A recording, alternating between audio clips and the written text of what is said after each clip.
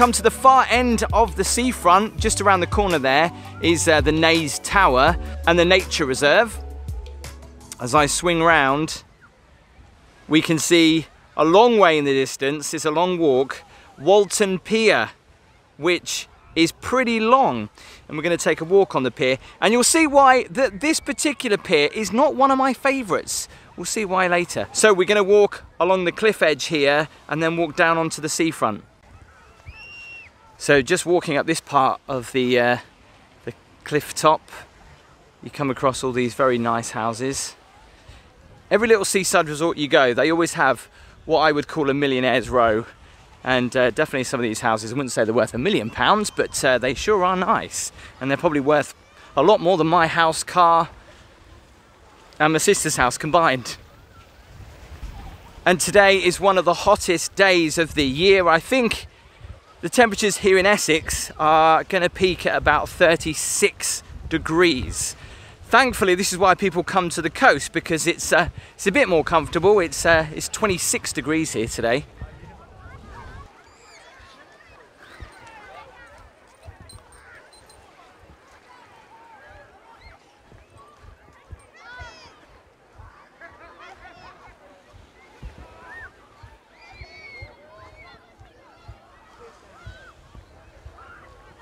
That's a lovely house over there.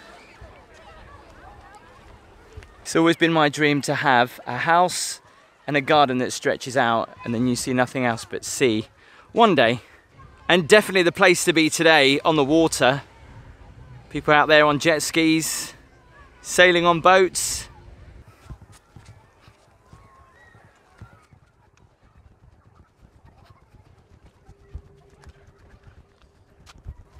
So a little point of interest, if you ever come into Walton on the Naze and you fancy coming to see a museum, you can check out the smallest museum here in Essex. It's the Walton Maritime Museum. And obviously because of coronavirus, museums aren't currently open. But fascinating that this used to be the old lifeboat house as well. I think this was built back in 1884, so it's a pretty old building. So if you are going to be doing this particular walk, best thing to do, get refreshed at the Last Fisherman's Caff. So Walton on the Naze is very quiet. It's got a really lovely beach and pier and I guess if you want a little bit more action you could just go further up the coast towards Clacton and if uh, you're a big fan of Clacton, next week that is where we're going to be going.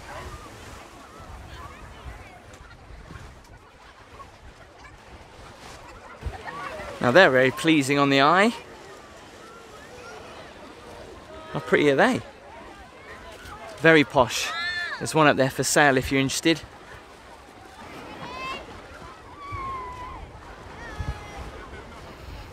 Can you see how clear the seawater is today? Look at that.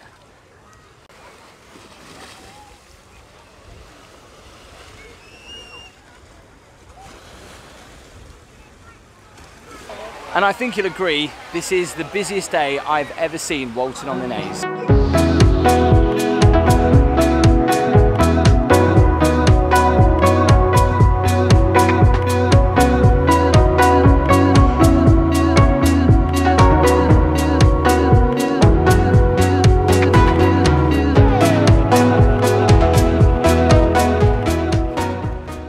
The first amusements I've seen on the seafront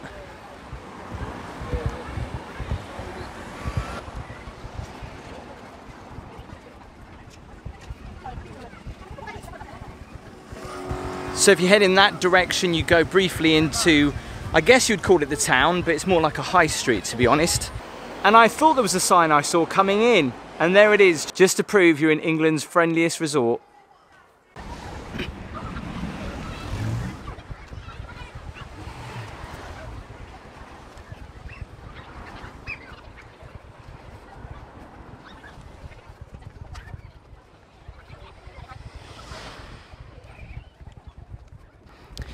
And coming up here, Walton on the Naze has always been quite famous actually for its seafront gardens.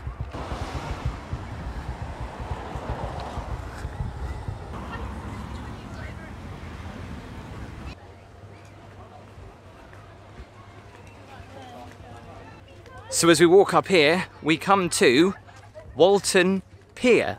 And I don't know what it is about piers in Essex, but they do like to be long. However, as you see, my only criticism for Walton Pier is it could do with a little bit of an upgrade. It's looking rusty, it's looking pretty bad.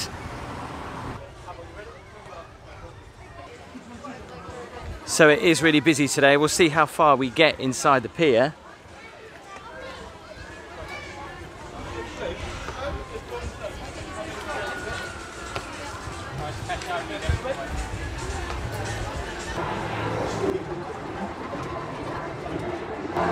Kind of reminds me of a train station or a warehouse.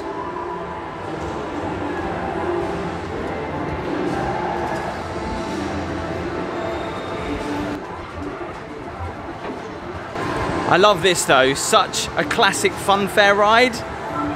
Look at that.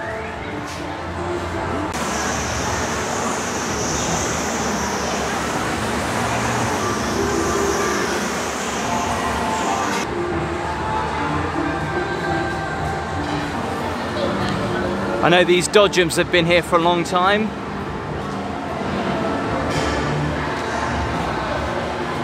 So yeah, I mean the kids can buy wristbands to go on the rides in here, especially if the weather's a bit rubbish outside. Never been in here, but this always looks pretty good, the Ghost Train. It's well themed actually. So a great place here, which is always quite nice actually, because it's always out of the wind, this part of the pier and we're going to walk right to the end and check out what's on the end of it. As I said, when you look at the uh, the paintwork and everything, it really is looking a little bit sorry for itself, this pier.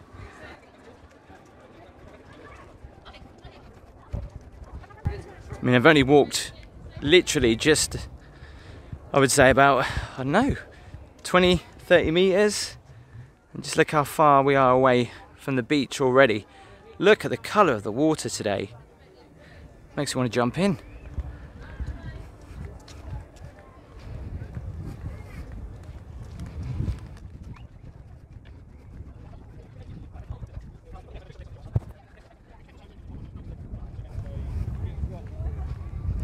It's so odd to look on the pier and just see it go on as far as the eye can see with people in the distance. It's crazy. I wonder if this is big as Southend Pier. Probably not actually, but I don't think it's far off it. And I always talk about beach huts wherever I go. Walton on the Naze, by far, has the most amount of beach huts I have ever seen in any coastal resort. Just look how many there are over there. We'll go and check those out in a minute. It freaks people out when they're walking on a pier that they can actually see the sea underneath. Um, I kind of like it. I guess if you're scared of heights, maybe it might scare you. I'm not sure. Let me know in the comments below. And the fact that when you're walking on it, some parts wobble.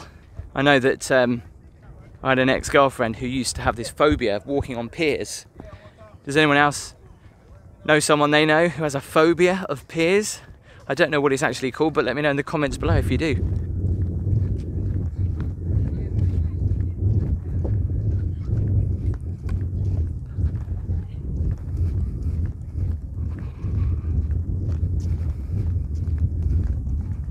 So just like in Cromer, at the end of the pier here, we find the Walton and Frinton lifeboat. Certainly is a, uh, a long walk to the lifeboat in an emergency, right?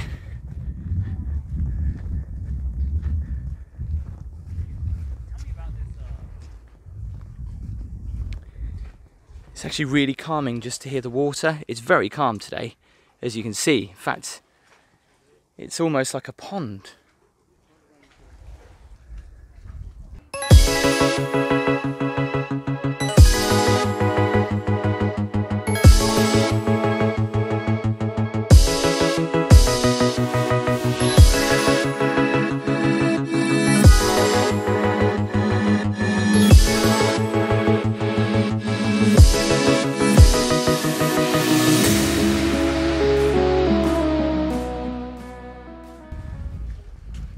So we can't get to the end of the pier.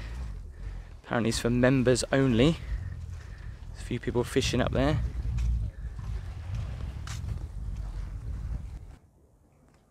The water today looks so inviting. And just there in the distance you can see the Walton Tower. And I started my walk off just literally over there, walked all the way along the seafront and up here towards the pier.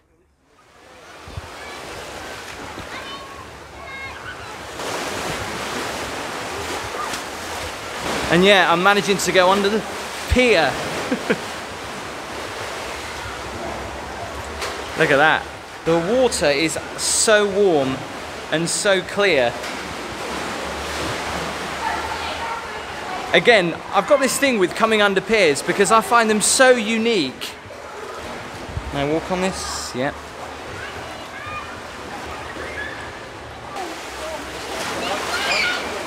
And this is where we come up to these really unique beach huts.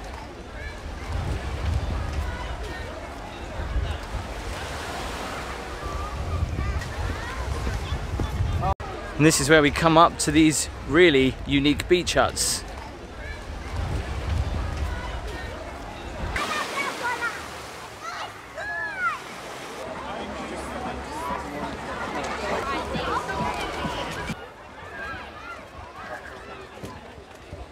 And it really is like a beach hut city. You've got them on so many different levels.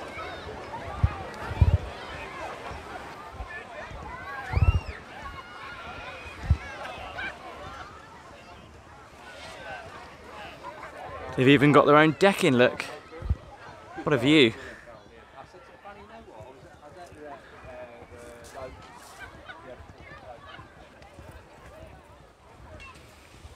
Surprised that nobody are in these ones today. All the other lower ones are all pretty busy. Wonder if you have to pay extra for the decking or maybe what some people have put in some solar powered lights as well.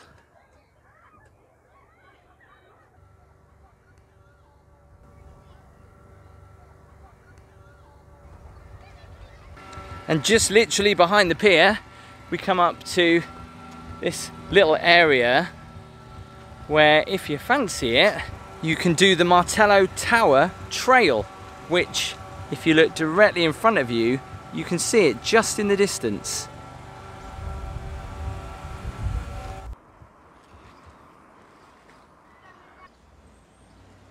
So you can see the church in the background. If you follow this trail, you'll get to the Martello Tower. You walk through this uh, new housing estate.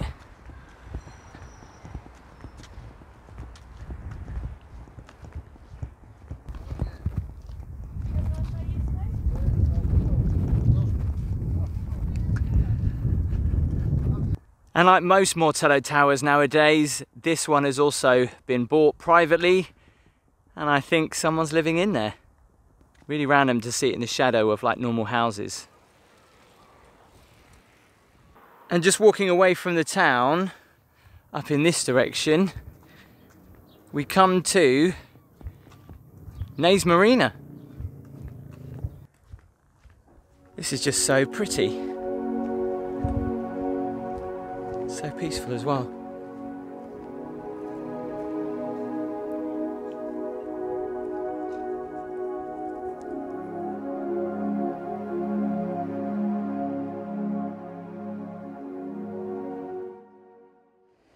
So my last trip here in Walton on the Naze is the Naze Centre and more importantly, the Naze Tower. It was a navigational tower constructed to assist ships on the otherwise fairly featureless coast. You can climb the 111 step spiral staircase to the top of the tower, which I've done before. It stands at 86 foot, 26 metres for a 360 degree view of the beach and countryside.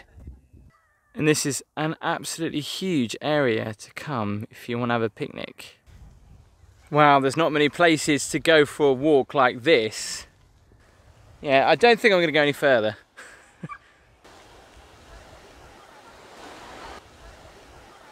and in the distance there you can see Harwich and Felixstowe. And from this direction you can actually walk all the way along the Naze